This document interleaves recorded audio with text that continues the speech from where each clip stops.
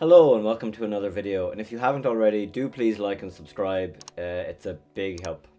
Uh, today in this video I just want to talk about two books that I recently finished that are bum, bum, bum, bum, uh, Path to Paradise and The Big Goodbye. They're both by the same author, Sam uh, Wasson, I hope I'm pronouncing that right. Um, I really enjoyed them and I thought it might be fun just to make a video uh, talking about what I've learned about them. So here we go. So first up is The Big Goodbye, a book about the making of the 1974 film Chinatown. Chinatown is kind of many things to many different people, but uh, it, to the author, it kind of represents the artistic high of a period of American cinema that went roughly from 1968 with Bonnie and Clyde to kind of Jaws, which would have been a turning point of American cinema in 1975. And uh, he really lauds Chinatown as the kind of artistic peak of that period. And you know, in watching the movie and especially in reading the book, it's easy to understand why he uh, he feels that. Uh, so you meet uh, its director to be Roman Polanski, its writer Robert Towne, its star Jack Nicholson, and its uh, producer Robert Evans. Um, so. Uh, so you see their kind of individual journeys up to the start of 70s and then their convergence into making uh, this film. In doing this and kind of talking about the people who are involved in it and really going into their histories, um, he's uh, Wasson is kind of showing that he doesn't just want to do a simple production of the film. He's interested in the people who made the film. He's interested in learning about them, uh, their history, and what the film ultimately meant to them on their journey. So of all those uh, key people who are in the book, I probably knew the least about Robert uh, Towne, the writer. But it was interesting to learn about Robert Towne. and the most surprising thing, which I didn't know about, was that actually there was another person helping him write the script. Uh, someone that he referred to as his editor in the book, quote unquote editor, uh, called Edward Taylor. And the book really goes into great uh, detail of um, of how Towne did come up with the original idea of doing a detective story basing it on the water, and where Taylor comes in is kind of in helping Towne work out the mystery of the novel, working out the beats, working out where to start and where to go to. And some of those chapters uh, and paragraphs were some of my favourite in the book. Upon closer inspection, Towne and Taylor weren't simply navigating a bounty of subplots but a cache of backstories. Central problem I have, Towne noted to himself, is with constant business of going into the past. How to keep from that? He answered his own question. Try to keep the action ongoing. Simple. Early in October 1971, Towne and Taylor attempted to reduce and combine their separate novelistic explorations of world, story, and character into the sparest outlines.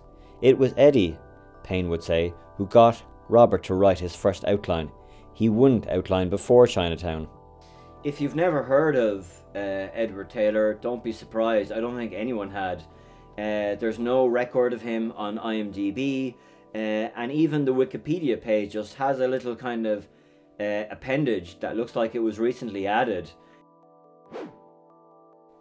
And of course, the book then talks about when Polanski comes in and how Polanski could have got a credit but he didn't. And you know, um, when someone asked him why he didn't arbitrate for a credit on the movie, Polanski said because Robert Towne was my friend, uh, and Polanski was obviously hugely responsible responsible for changing the ending of the movie as well.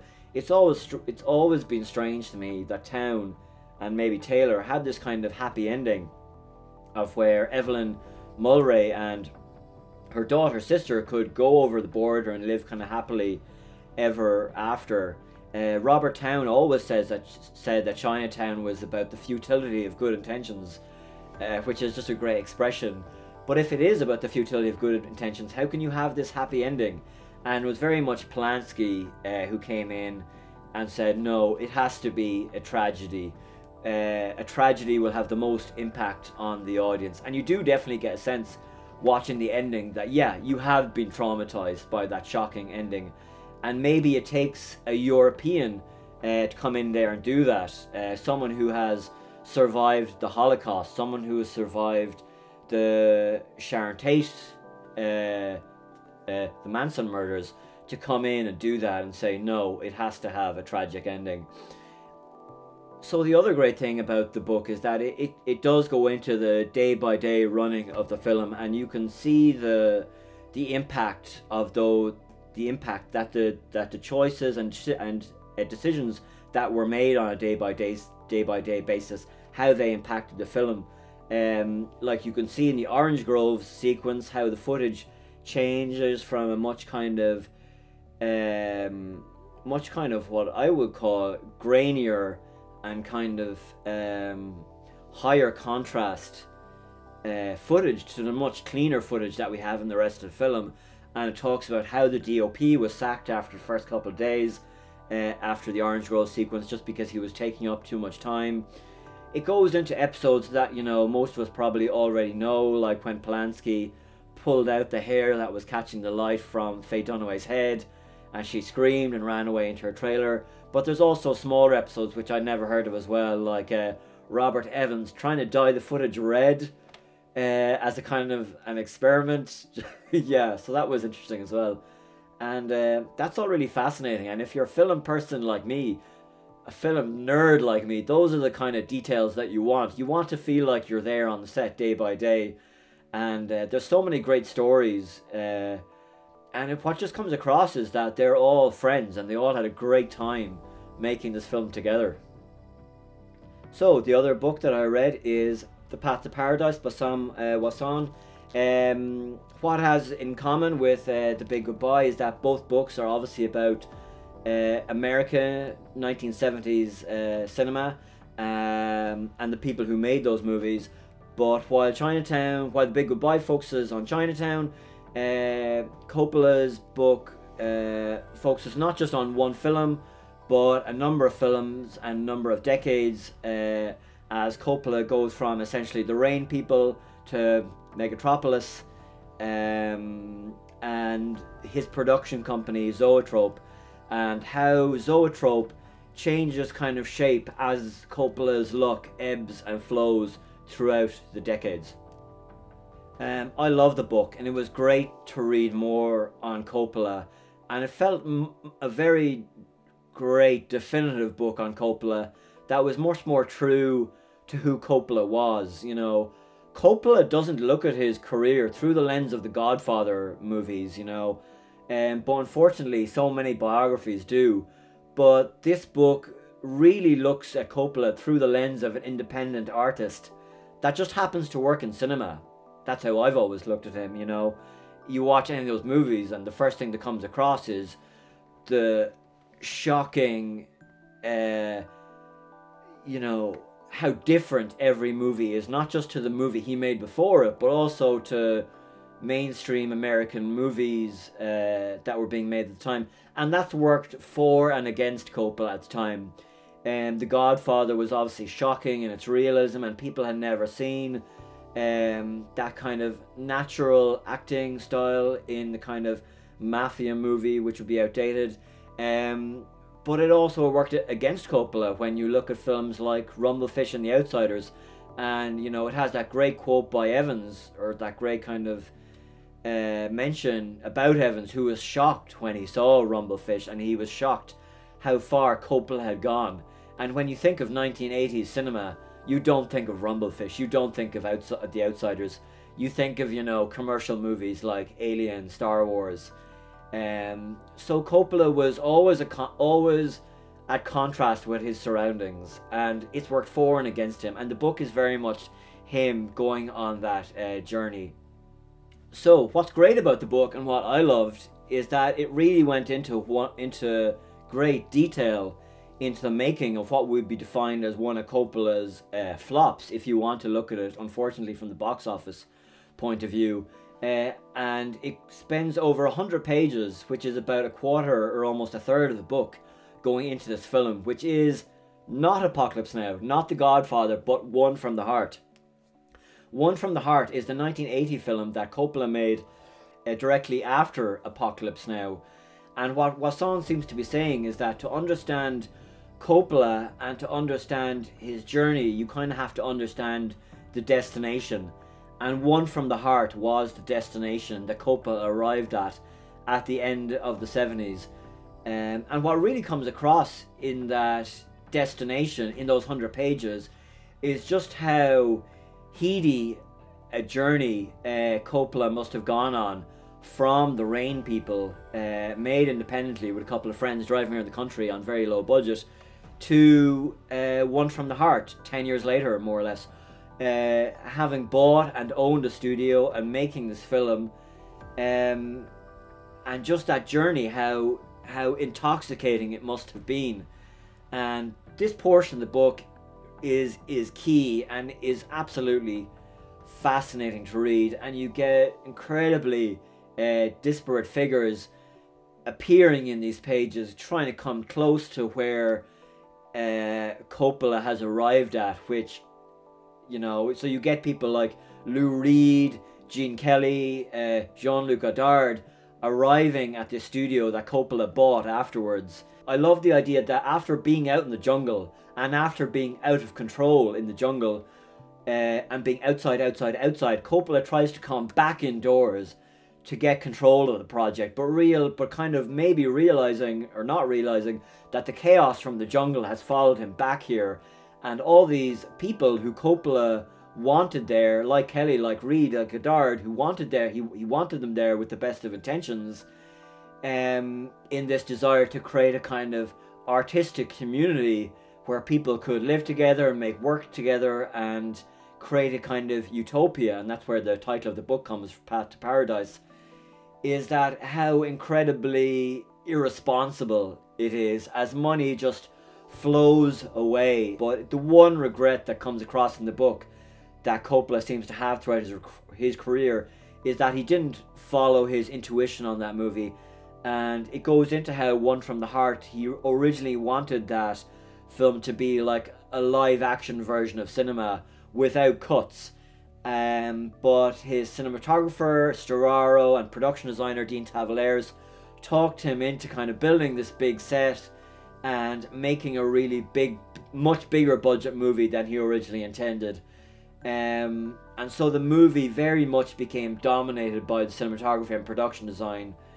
So the other lens through which this portion of the book can be analysed is uh, through the idea of uh, digital cinema. Less so the film itself, which was shot pretty conventionally on film stock, but more so the manner in which Coppola was trying to make the film uh, by directing his actors from a mobile command studio uh, with a radio uh, and an intercom, and also the idea of creating uh, previs uh, drawings and animations which would help uh, pre-visualize, pre-conceptualize how the film uh, would or could look and what angles they could use before the film uh, would be made. And the idea being that you would save time because you would have already had a look at how the films would be made. And Coppola um, had new technology and new computers that he put into the Silverfish that allowed him to do this. And some of this was, of course, a reaction to the wilderness and chaos of Apocalypse Now, trying to control the situation. But um, this was 1979, 1980. This kind of technology, uh, digital cinema, wouldn't be embraced for another 20, 25 years. Um, so it was very much ahead of its time, and that seems to create have created uh, a lot of misunderstanding and uh, between Coppola and the actors and through the crew, and it's been misconstrued at times in other books, especially Peter Biskind, Easy Rider, kind of um, phrasing, uh, framing Coppola as the famous actor who was now uh, uh, the famous actor's uh, director was now uh, retreating into his trailer. Um, but in reality, Coppola, Coppola, yeah, he loved actors. He loved working with theater and loved having close relationship with actors. But he was also the kind of the boy scientist, and he also loved experimenting. So this wasn't a retreat or a change. It was it was pretty much a straight continuity from what happened before, but as has for other kind of people's narratives being reframed as something that it wasn't. But um, he used it again in the following films in Rumblefish and Outsiders, and it was a much. It seems to have been a much smoother um, production as he kind of got his hands on how to work that technology. Um, but that was all fascinating, you know, as someone who makes digital cinema, that is really, you know, uh, very much the origin um, of digital cinema in, in a lot of respects. And really, really fascinating to read all that. And that was also another reason of why I loved this section of the book so much. So yeah, that was a terrific book, and I've really only finished reading the last couple days, so I'm still processing it. But it's an incredible journey, and just amazing that uh, through the chaos of the 70s and everything that Coppola went through, he could still produce four of the greatest movies ever made. You know, Godfather, Godfather 2, Conversation, Apocalypse Now. And it really does make me want to rewatch uh, One from the Heart, Outsiders, and Rumblefish. I've always loved both of those movies. Um, but definitely read it. Uh, definitely read it. Would definitely recommend it. Where this side is better. Definitely recommend it. Um, and if you're interested in films, interested in making films, especially, just Coppola's uh, ambition, his fearlessness. You know, he's like saying, let's spend our money. If you've got money, spend it. And that's kind of a revolutionary idea in a society that's so afraid of money and just wants to put everything in the bank. Um, and he's not afraid to gamble. And, you know, he says that if you don't gamble, you're, you're, you're not really being true to yourself and you're not making the work that you could be making. And all that is really inspiring and just really dangerous and intoxicating stuff. Cool, so that's the end of the video. So thank you for watching. These were the two books that I reviewed today. Uh, that's pretty good. Um, so I'd recommend them both. Both of great qualities. Sam Wasson is a great writer. He writes both stories with an, a great elegance and respect for um, a great, you know, uh, a, a reverence for the films and a great respect for the people who you know gave their lives to make us to give us those films. Do you know what i mean? Like you think of just those classics that came out of the cinema of of 1970s it's incredible. Um so yeah thanks for watching and um see you in another video soon hopefully. And like and subscribe. I'm looking at you